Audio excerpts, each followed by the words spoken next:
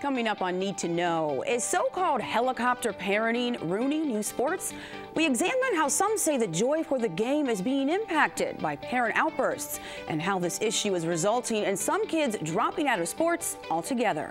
Also on the show, we get an inside look at a sport that makes it possible for visually impaired fans of baseball to become players. It is unique, and you have a chance to check out the World Series of this sport right now in Rochester. And you won't want to miss the latest installment in our American Graduate Champion Series. Meet the young founders of a summer academy for boys. The mission to help students create their own economy through reading and writing. These stories and more coming up right now on Need to Know.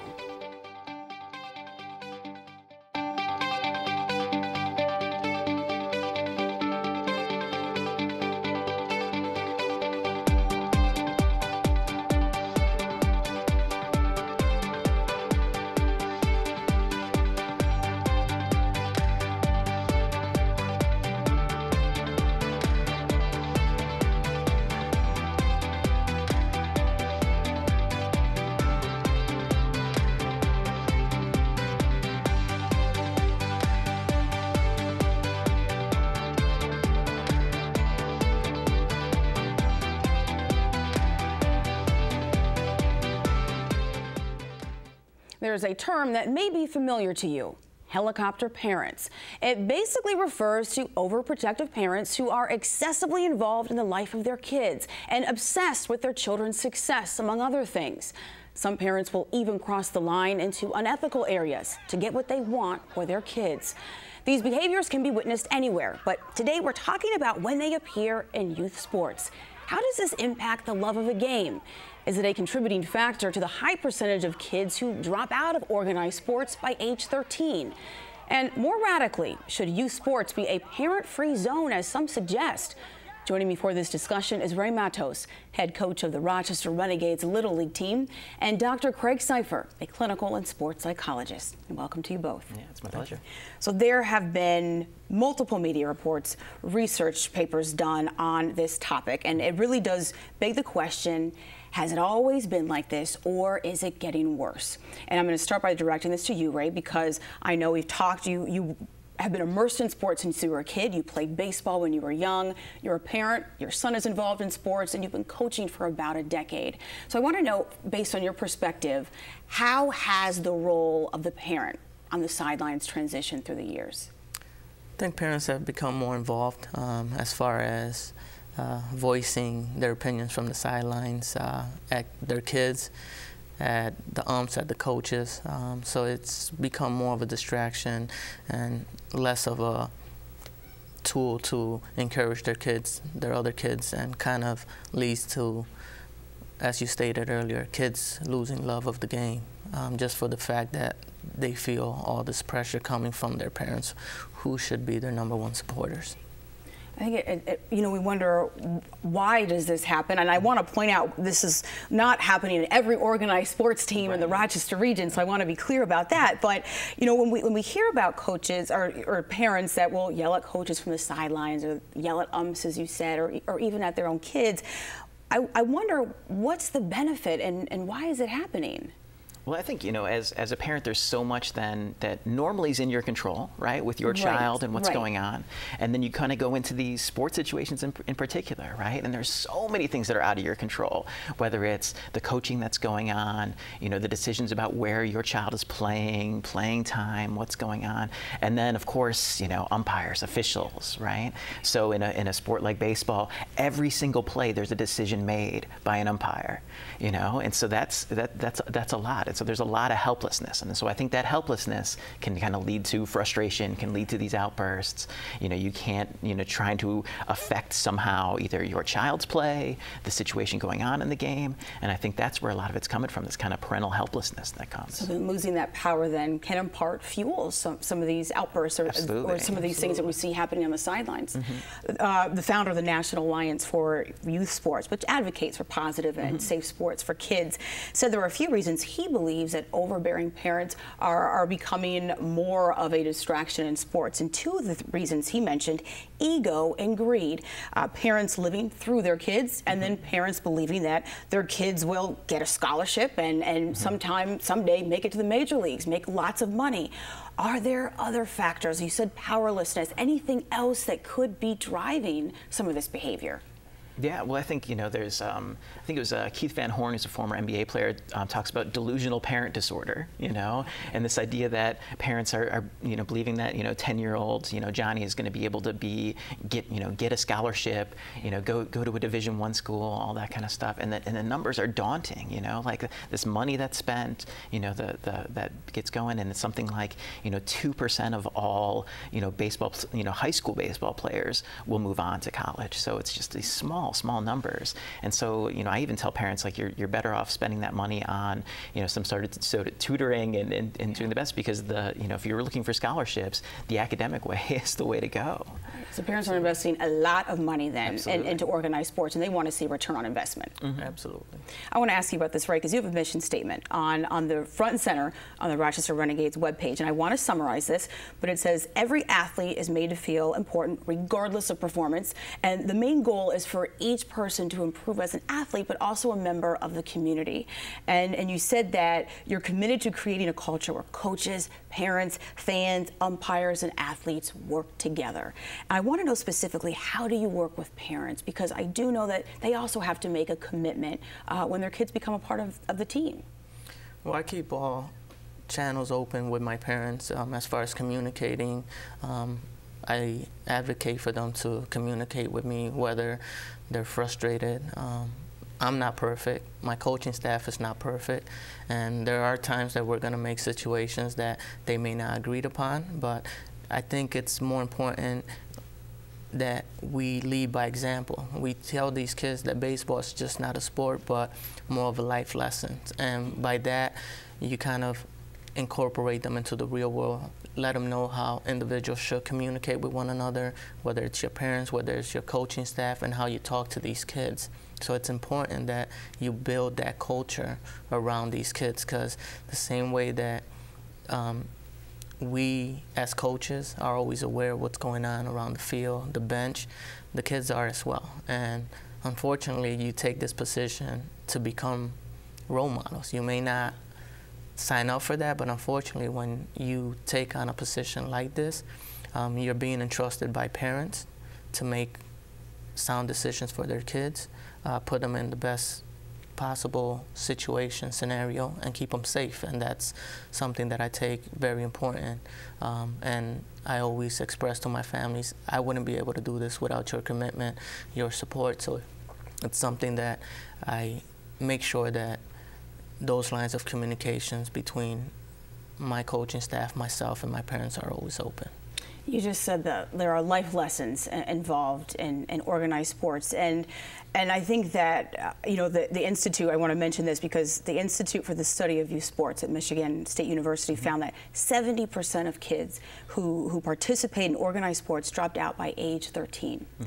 and then a 2014 study by George Washington University found that nine out of 10 kids said fun was the main reason they participated in sports. And they asked them for the many reasons why, and they got 81 reasons. Winning was number 48. Mm -hmm. So I wonder, what does it take to make the game fun so that kids aren't dropping out by the time they reach their teen years? Yeah, well, I think you know the, the, that that fun and also connection to peers. You know, so connection to have so having buddies that you have on your team, and and enjoying like the engaging, challenging parts of that sport are the two top things that you'll hear from kids overall. Um, in terms of you know what we as adults can help with, um, you know, being you know what's their what's going to be their focus in their performance, right? So kids who get focused on everything outside of themselves, whether it's the officials' calls or comparing themselves to other kids as opposed to just focusing on themselves and getting themselves better and developing, those kids stay with sports. And then, you know, the other part is what kind of climate are we are we, you know, creating? And, and Ray was talking about that. So we talk about, you know, kind of egghead docs like me talk about whether it's, you know, going to be a task climate or an ego climate. And task mm-hmm. climates are about, you know, getting better, focusing on skills. Mistakes are okay because we learn from mistakes. You know, we need to kind of be able to build each other up, you know, those those teammates, those connections, as opposed to an ego climate where it's winning at all costs. You know, poor performance is going to be, you know, judged and, and criticized you know, and that's where kids get stuck. And so if you think about 13, that's when it starts getting a little bit more serious, right? We're kind of moving from everybody gets a trophy to we're focused on winning, we're focused on, you know, on that. And so it's kind of like how do we keep that focus for kids in terms of just getting better, developing, in, you know, in those in those like you know upper ages. There are dozens of YouTube videos displaying parental behavior mm -hmm. at, at, games, at youth sports games, and they ultimately lead to chaos, to, to mm -hmm. fights, to, to, games being canceled. Mm -hmm. And you mentioned, you know, uh, games are about teamwork and, and good sportsmanship, and that's and fun. These are part of the reasons why kids love them. What what do you hear kids say um, when they when they witness uh, parent outbursts and, and and and parent outbursts? I, I, guess it can look a variety of ways. It could mm -hmm. be mm-hmm. a parent uh, be very vocal on the field. It could also be a parent waiting until they get into the car uh, mm -hmm. and, and mentioning this to kids or when they get home. What type of response do do you hear from kids? Well, personally, I think some kids, unfortunately, they're used to that kind of outburst from their parents because you have to keep in mind that parents are not just acting this way at sports events. It's something that it's happening at home, it's happening in their everyday life. So to some kids, it's normal. To other kids on the team, it's kind of shocking, you know, because they're not used to that environment or, or that chaos. So it's that kind of balance that you have to find within yourself, set the precedents at the start of the season. Set expectations um, and just have a code of conduct and just let parents know that they will be held accountable. Um, same way that I would expect any parents to hold me accountable, my coaching staff accountable. In reverse, I would expect my parents to conduct themselves in a manner that you represent not only your child, the organization, but there's other kids involved that take precedence over your child and, and what you are trying to express across the field, whether it's to a coach, to an umpire. Um, you know, they're all humans. They're going to make mistakes, and it's something that you try to pass down to your kids. And it's not a behavior that you want your kid or anybody else in that situation to feel like that's the way that you're supposed to conduct yourself. I want to ask something. Author and parent Daniel Pink, he was recently on PBS NewsHour, and he said there's a problem in youth sports in this country, and it's parents. He said it's not just the aggressive, in-your-face helicopter parents who are mm -hmm. shouting. He said it's also the well-meaning parents who have nothing but positive things to say. And he said that parents can distract kids from what counts. And he said seeing them on the sidelines can distract them from mastery of something difficult, the obligation to teammates, and the game itself. And he goes so far as to suggest that youth sports should be a parent-free zone. And he suggests, hey, you know what, parents, when your kids are playing sports, why don't you take up athletics or, or find an activity to keep yourself occupied? Mm -hmm. And I wanted to get your perspective. Do you think he's going too far or do you think he, he makes a valid point? Well, I think it might be a little bit too far because it is something that can bring families together too, you know. And so I know in my own family, I've got a baseball playing, you know, 10 year old, and his little brothers will love coming to his games, cheering him on, imitating the other bigger boys, all that kind of stuff. And so it can be something that brings, you know, families and parents together. I think the one thing that, you know, that he's probably getting at though is that we're losing a lot of kid focused kind of play and sport activities. Everything is, is, is adult driven, is parent driven. Kids just don't have a lot of opportunities where they just kind of get together and they drive, you know, what the play is. Dr. Craig Seifer and Ray Matos, thank you both for your time. I appreciate it and for your insight. And I thank you for being here. Thank you. It's my pleasure. For blind and visually impaired lovers of baseball, playing the game was an impossibility more than 50 years ago. But in 1964, that changed. A baseball was invented that made a beeping sound, and with it, a new sport was eventually born. Need to know Veronica Volk has more. Beep baseball is an adaptation of classic American baseball, played with a pitcher, catcher, fielders, and a batter. But as the name suggests, the ball itself beeps as it's tossed over the plate and hit into the field. And the game has several other tweaks to make it possible for people who are visually impaired to play. This week is the 39th annual World Series of Beep Baseball, held for the first time right here in Rochester. And the newly formed home team has been practicing for months to prepare for the event. Take a look. I love beep baseball because it's given me an experience of being on a competitive team. Being on a team at all um, has been a joy to get to know the other players and develop camaraderie, um, but also to just feel that healthy sense of competition that uh, we all as humans, sighted or not, really enjoy.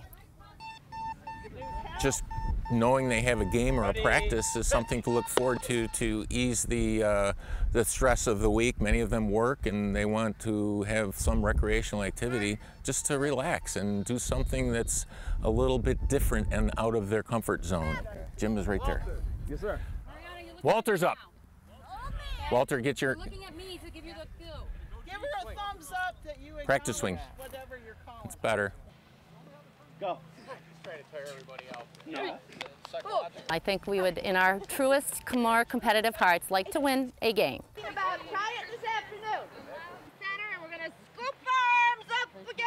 But I think almost more important is I would think we'd really like to stick together and continue to play. That you know we're we're already talking about going out to next year's World Series in Ames, Iowa, figuring out how to make that happen financially and practically and uh, you know just to keep improving and, and sticking together.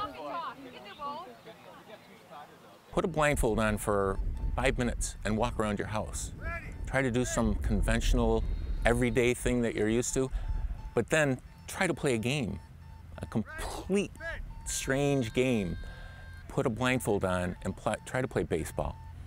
It's not easy, and you have to be very confident in the coaches and the sighted people and trust their instincts.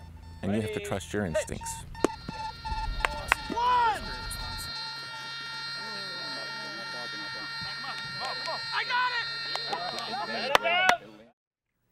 So, Veronica, you had a chance to watch the home team, the Red Wings, play, and they played against the Long Island Bombers this week. Now, I want to emphasize a point that you made. This is a newly formed team. So, that being said, how did they do? Yeah, they played against the Long Island Bombers, who have been a team for about 10 years now, so they're a very established team. But I will say that the Red Wings held their own. And they weren't the only new team uh, in the World Series this year. Actually, there were four new teams, making a total of 24. And there was actually the first ever Canadian team as part of this World Series. So I spoke with the Vice President, uh, Blake uh, Boudreau, who said that he's really excited about the way that this game is spreading in popularity, and uh, he hopes that one day it will make it into the Paralympics. Very good. Well, I want to know, you spoke with Blake and, and other leaders of the National Beep Baseball Association. What did they say in terms of how this game has evolved through the years? If you look back at the history of beep baseball, uh, it, it, looks almost nothing like it does today. There were people wearing pads, there was no running, it was much less competitive, and by all accounts, it was a lot less fun. Mm-hmm. Um, now, of course, you have there's a little bit more risk, but there's more competition. You have people tackling bases, uh, uh, lunging for balls. So I think that it's really kind of indicative of the way that we've changed um, how we deal with people with disabilities. We used to coddle people, uh, shelter them, and protect them to the point of. Um, to the point of almost coddling, like I said. Right. And these days, it's more about respecting people's independence. Right. So a lot to see, a lot of action. The, the World Series will actually play throughout the weekend. So for those who have not had a chance to check it out, it sounds like it was definitely an exciting game and, so and worth watch. it. Awesome. Very good. Well, Veronica Volk, uh, welcome. It's great to have you on Need to Know. And this segment was part of WXXI's Move to Include, a partnership of WXXI and the Golisano Foundation, working with the community to lead change toward the inclusion of people with intellectual and physical disabilities. Give us your thoughts on what you just heard. Visit movetoinclude.org breaking what's referred to as the school to prison pipeline by creating social entrepreneurs. That's one of the goals of a new summer program in Rochester launched by kids kids. According to the New York Civil Liberties Union, this pipeline is the result of local, state, and federal policies that push young people out of school and into the criminal justice system, in particular, kids of color and children with disabilities. So two young men in Rochester are working with their peers in kindergarten through fourth grade to help break this cycle. How are they doing it? By teaching them the power of literacy and giving back to the community.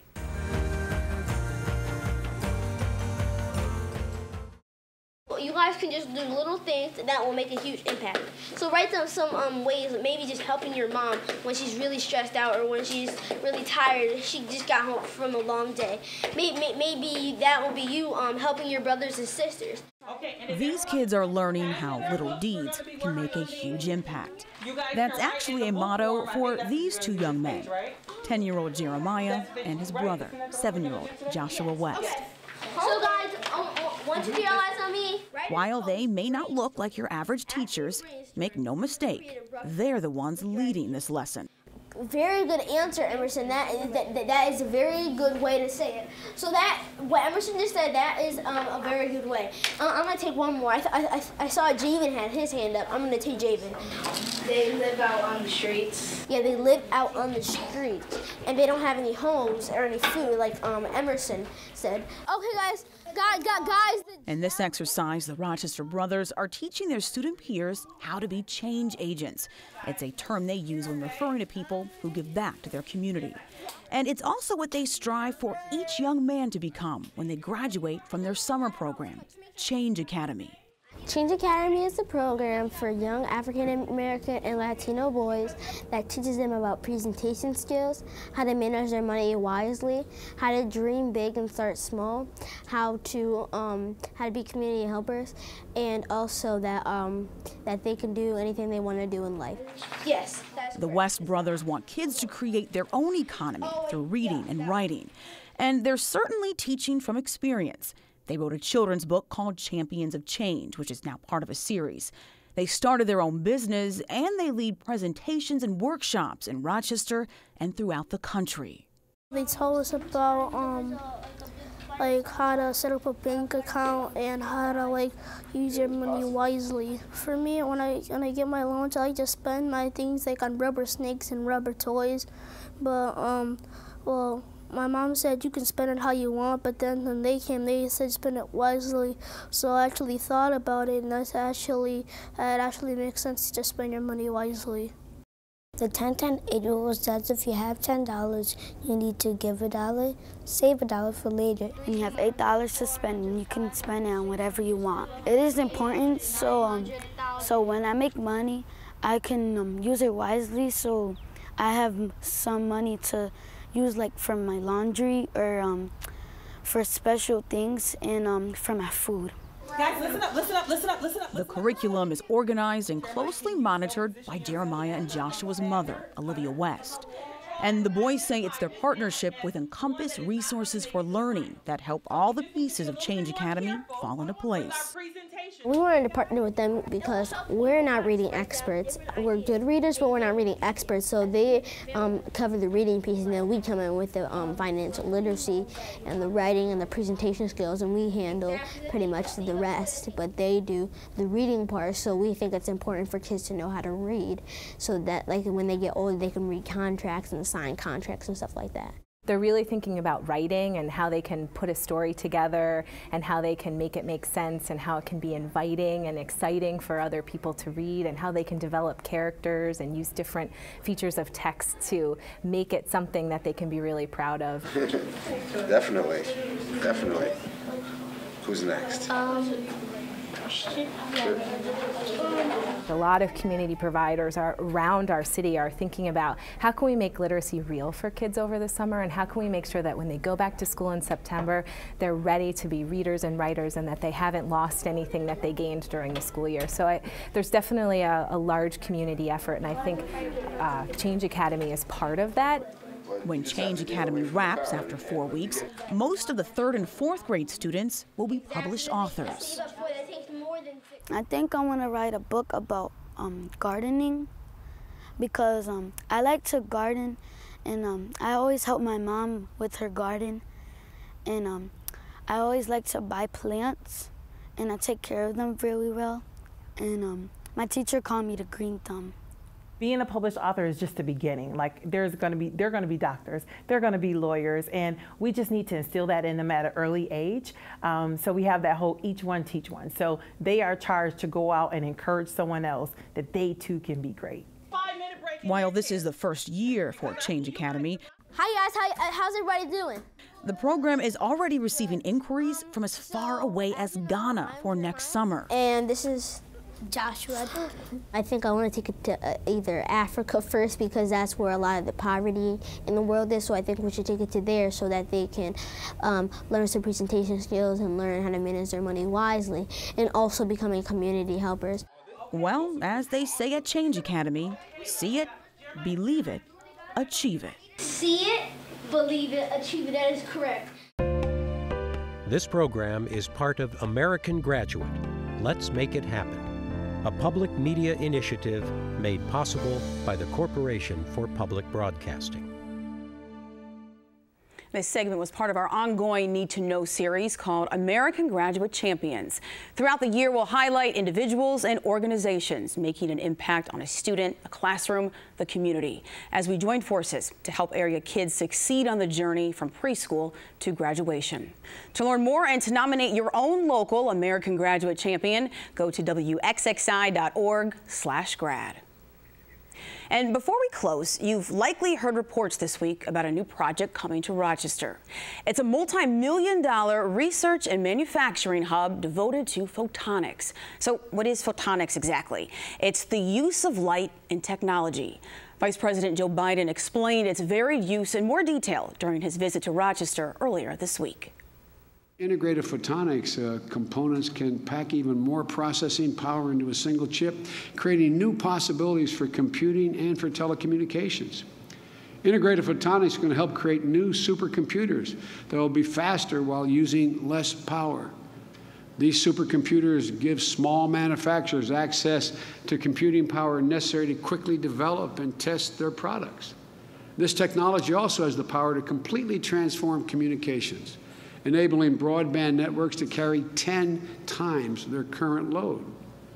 Integrated photonics will also revolutionize medical technology, creating ways for diabetics to monitor their blood sugar without needles, creating a camera as small as a pill which can travel through the arteries to determine what's going on. Integrated photonics can also help speed can also help speed critical communications to our troops in the field by speeding up uh, their access to that information. The $610 million project, referred to as AIM Photonics, is expected to create thousands of jobs in the region. We'll have more coverage of AIM Photonics on Need to Know as it develops. And that's it for this edition of Need to Know. I'm Helene Biandudi Hofer. Thank you for joining me. I'll see you next week right here on WXXI TV.